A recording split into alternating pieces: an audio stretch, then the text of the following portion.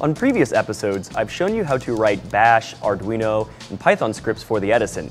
This time, we're going to be using Intel's XDK development environment in order to write a simple JavaScript program. This program is going to host a simple web server on the Edison and serve up an HTML page. And every time a client connects, it'll flash an LED. Now, I've tried a few different ways of programming the Edison, and currently this is my favorite way to do it.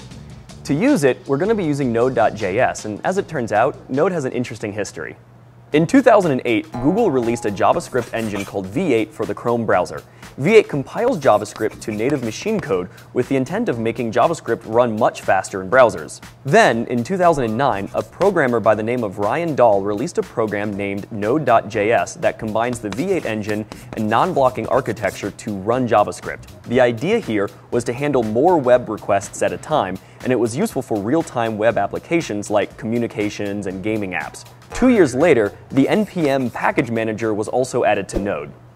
For this, we're going to need an Edison, a base block, a GPIO block, a breadboard, some jumper wires, an Edison hardware pack, an NPN transistor, an LED, a 100 ohm and a 1K ohm resistor, screwdriver, and some pliers. First up, we need to build the block stack. Add some standoffs to the Edison, and then attach the Edison to the base block.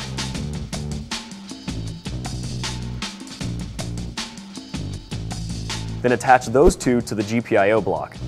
If you haven't done so already, solder some headers facing away from the Edison to the GPIO block. Put the block stack on the breadboard with the Edison hanging over the edge.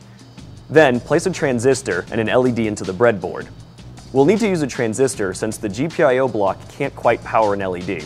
Connect a 1K ohm resistor to the base of the transistor. This will restrict current flowing into the base as we don't need a lot of current in order to turn on the transistor.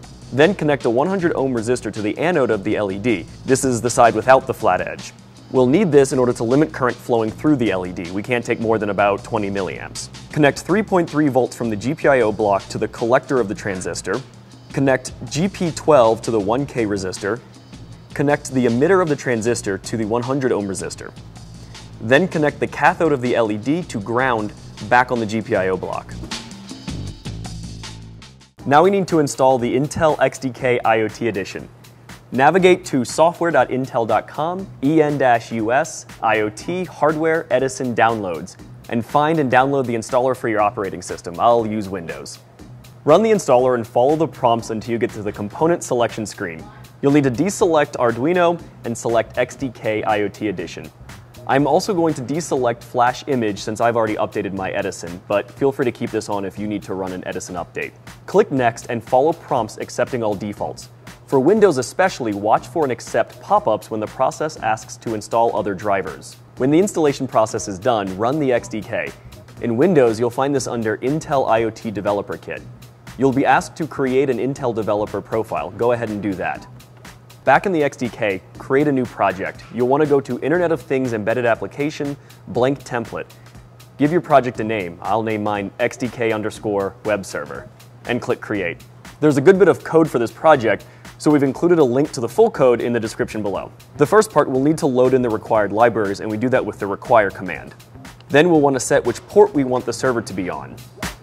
We're going to be using libmraa to define a new pin, Notice that the second true here means that we want to use raw mode, so that 12 points to GP12, which is also listed on the GPIO block.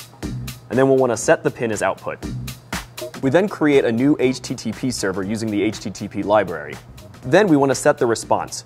When a browser requests a web page from our server, we're going to send 200 first as a status code. This means success.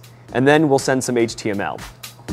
After that, we turn on our LED and set a timer to turn off the LED in 500 milliseconds. The idea here is that the LED flashes every time we serve the web page. And finally, we add this callback function, server.listen.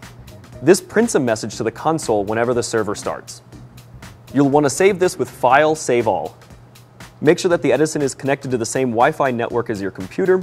Click on IoT device in the XDK. You should see the Edison's IP address. If you have a password set on your Edison, enter it and then click Connect. Finally, click Upload, and if asked, say Save and Proceed. When done, click the Run button. In a new browser, this can be your phone, computer, really anything in the same network as the Edison. Go to your Edison's IP address, colon 4242, and you should see our page appear. When you refresh that page, watch the LED flash on the Edison. There's a lot going on here. The Edison is actually running a web server, which means that when a browser connects from another computer, the Edison actually sends it some HTML. The browser then interprets that HTML and displays it in a human-readable format. On the next episode, we'll be using JavaScript again to create a smartphone web app that interacts with the server running on the Edison, so stay tuned.